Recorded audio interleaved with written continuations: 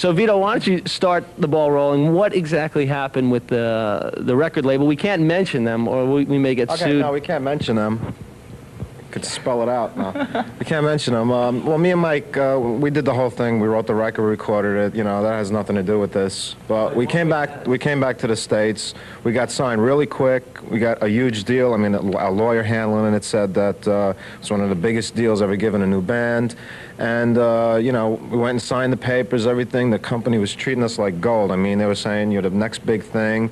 Everything. We'd go up there. They would bring us into big meeting rooms and have all the top executives come in and everything.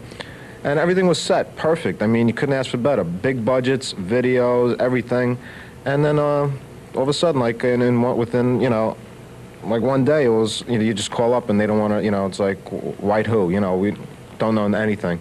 They totally dropped the band, never gave us a reason. I mean, it's not like they put the record out and it failed. They just never even put the record out. They just didn't want to put it out. They put it on the shelf and just left it there.